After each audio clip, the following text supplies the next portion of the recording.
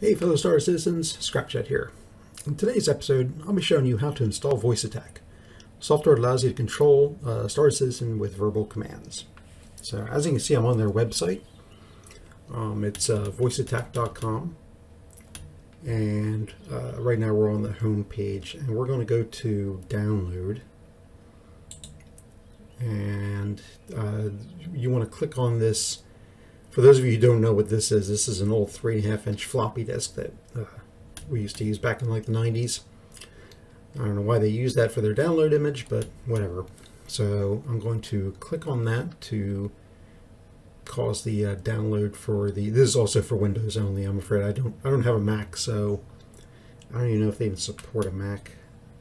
I don't see a Mac downloader. So you're probably only going to be able to run this on a on a Windows computer. So as you can see, it's downloading. It's a 14 meg. Shouldn't take too long. Okay, there we go. It did take a little longer than I thought, but I think that's just my internet was a little slow today. 14 meg should not have taken that long. Anyway, so it's down here, so I'm just going to click on it to get it started. And basically, we're just going to accept all the defaults. So I'm going to click Next. Uh, I accept. Next. I'm going to let it install on my uh, C drive, so next.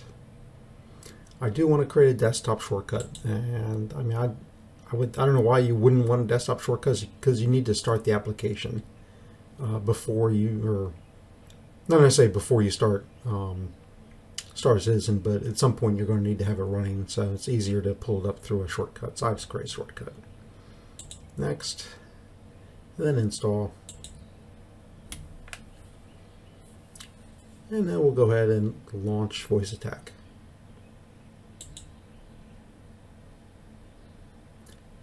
And when it comes up, hmm,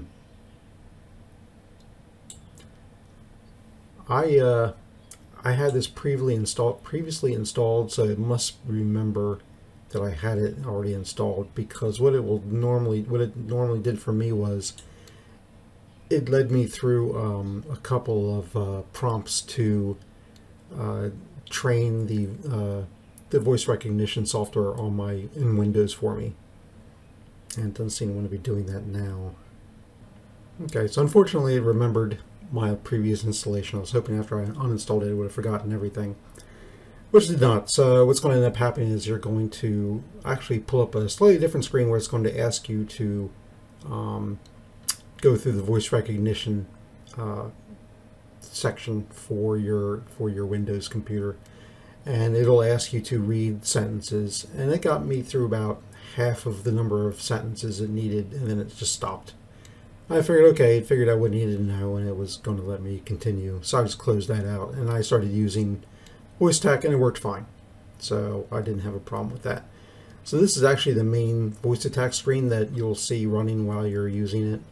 And it actually will show you a, like a log of all the different commands that you're saying that it might use.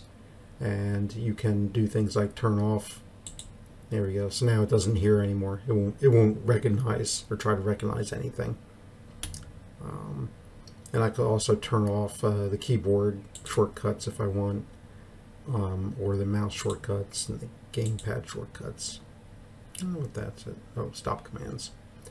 Um, so that's pretty much it for the install. The uh, website itself has, oh, and also on uh, the VoiceAttack people tell told me um, to actually install the demo and or the trial version and use that first. Don't uh, don't purchase it until you've actually tried to use it because they did say that if there was a problem, there might be a problem with it working on your computer. So it's best to get the trial version, test it out, and if it does, then you just go over here to the purchase link and go through the purchase process. It's only ten dollars, um, and what they'll do is they'll send you an email with a uh, with the registration key. And once you have the registration key, then you can just go back in here and uh, I think it's under options. Yeah, you can. Oop, no, not that. Uh, registration. You can actually go in here and you can click on there and register it. So, but that's all there is to the installation. Um, there's also a support page here. The, there's a help document. It's a PDF file. It's about over 200 pages long. Um, I read through some of it. it. You know, you can read it if you want, but what I'm going to be doing is I'm going to be making uh, just a host of uh, short videos, kind of like this install, where I'm going to show you how to make an individual command. Um, so you won't need to necessarily individual command specific to Star Citizen, so you won't need to read through that help documentation if you don't want to. And those should be coming out in the next week or two. So, but they have some other uh, support. Uh, they've uh, looks like they have a user forum. Uh, you can email them questions, um, loss registration key recovery, that sort of thing. Um, they do have a little how-to section. Um, nothing specific to, to Star Citizen or anything like that, and most of it I didn't really see necessary for what we were going to be doing with it. But like I said, anyway, um, just watch for future videos from me. Probably next week or two, I'll have a couple out on how to do uh, individual commands like pulling up your mobiGlas and and uh, uh, how to do a, a flight ready command and things like that. So, okay. Well, thanks for watching, and uh, have a great day.